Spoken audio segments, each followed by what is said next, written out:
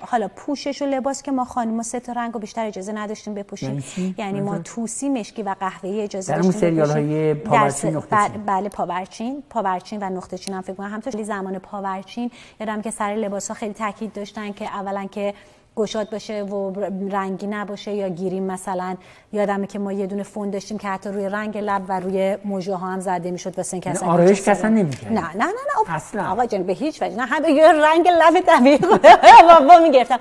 و یادمه که مثلا م، خانوم و آقا کنار هم روی یک مبل دو نفره اجازه نداشتیم بشینیم. یعنی حتما باید دو تا مبل کنار هم بود و اینا جدا جدا روی اون مبلا میشستن که حتما وسطش دسته داشته نه دو نفر با هم روی یه مبل نمی‌تونستن بشینن.